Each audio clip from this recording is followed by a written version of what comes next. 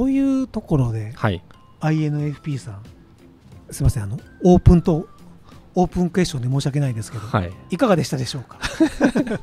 いかがって言わオれるとープンクエスチョンで申し訳ございません。はい。芸術家だよと。胸の内は熱いよと。うん。あとまあ胸の内でも結局考えてるのって脳みそですもんね。はい。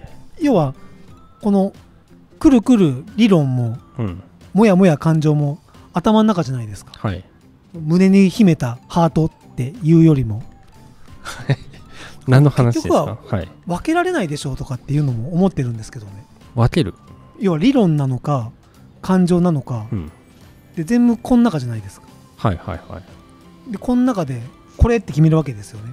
僕これってまあは僕はここっち側って決めるわけじゃないですか。こっち側で決めるっていうか、はい。周りがじゃないですか？周りがですね名前をつけてるだけ誰かが名前をでも誰かが名前をつけた枠の中にうん。そこが僕だっていうわけですよね。枠なんかないですもんねだって。INFP っていう枠じゃないですか。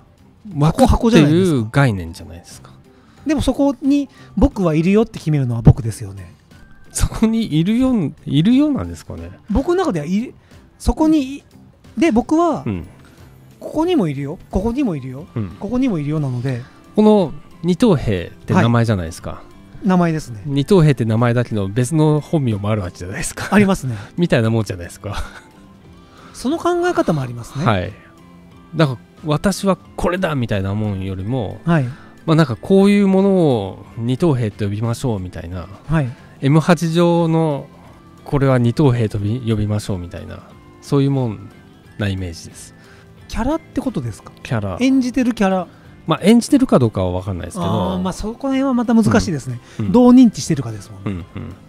甘い白い粉は砂糖と呼びましょうみたいな。その中に黒糖も黒糖も？黒白いって言ったからダメだ。まあ甘いまあ砂糖の定義が分かんないですけど。はい。みたいな。これをまあ便宜上こう呼ぶみたいな。カテゴライズされた中でどっちよりかうん。くらいでいいのでは？それぐらいのイメージ。そうです。でまあどっていうのもままあそこもそもそもまあ主観みたいなところなんであそうですよね。分かんない。正確にはまあ測れない。ただまあこの辺っていうのがあって うん。まあ苦手な部分僕の場合はもんうん。完全に思考とはい。あのちょっと未来を予測するってはいいうところが足りないと思ってるんですけど、うん。この辺の苦手が分かってるとうんいいかなと思ってます、そういうのがなんかちょっとしっくりこればいいぐらいの感じじゃないですか、そのぐらいのふわっとした感じなら、うんうん。なんで自分が確実にこれだってやると、はい。多分悩みまくって、結局いらん悩みを増やすだけなので、はい、うん。あれでもこれこういう風に捉えると逆になるなとかいろいろ出てくるんで。やめましょうって話ですね、僕が、まあ、正論だとは思いませんけど詰めるという感覚がそもそもないとおっしゃったのが刺さったと。うん。あなるほど。私にはあるので INFP ではないのかなって考えるきっかけにはなったと。うん。人には優しくなりたいですね。でも僕もあの言わないわけじゃないですよ。うん。ただそれを詰めるっていう感覚はないだけです。はい。まあそそこのまああれですもん。捉え方ですもんね。うん。うん。もう全く違う言葉を使ってるだけの話あかもしれない。かもしれない。結局はやってる行為は一緒かもしれない、一緒かもしれなくはい。て、けど詰めるっていう感覚はないです、うん。はい。えっ、と自分からも他人からも見える部分と他人からしか見えない部分と自分しか見えない部分とそれもう本当にうんうん。もう本当そうですよね。うん。本当にそう。思考が苦手っていうのはよくわからないですねと。思考しているが実態と打率が悪いとかっていう意味か。あのねうん。例えばなんかよく自分のことを考えるとかなんかはい、なんでしょうずっと考えるって言うじゃないですか。うんうん、僕無理なんですよ。でも考えてますよね。途中で面倒くさくなるんですよ。うん。なんか深く突き詰めていこうっていうところでうん。23歩歩き出すとパッて見えた答えもうこれでいいや、これでいい、なんかあの多分論理的にはい。考えるのが苦手みたいなところあ苦手ですね。もうなんか直感的に掴みたくなるで僕の中ではよくなんかあの代理店が作るような、うん。トントントン3つだからこれ、うん。だからこれなんですみたいな。うん。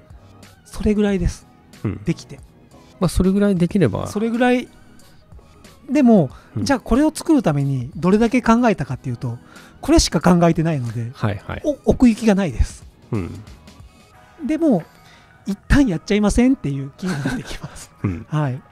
うちって決めてくださいみたいな。っでもなんか違うところで悩んでたりするじゃないですか。ていうのが、うん。これで本当に良かったんだろうかっていうのがみたたくさんあるる感じです、うん。なんでこの深くが無理なんですねうん。っていう感覚があります、うん。はい。すいません。自分語りはもうしないようにします。2の2の組み合わせ。まあこのぐらいですよね。うん。思考が得意かどうかわからないけどブレインストーミングするのはまあこういう話は楽しいですよね。僕もこういうのは好きです、うん。なので F は論理的な話ができないよねって F はって言われると、うん。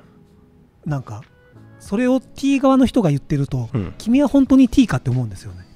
あこんな こんな F と T っていうだけでうん。簡単に排除しちゃうんだって、うん。ふーんって。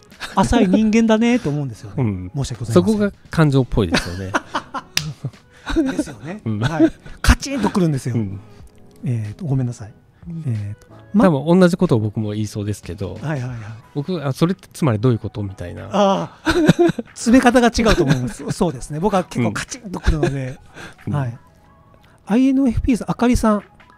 暗いと不平を言うよりも進んで明かりをつけましょう。どうも岸田京子です。はい。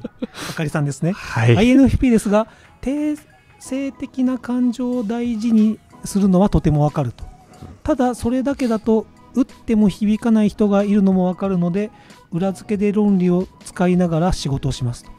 まあ多分そういうところですよね。頭がいい人ですね。進んで明かりをつけに行く人ですよ。鏡。偉い。ね まあみんなでもそういうところじゃないですか？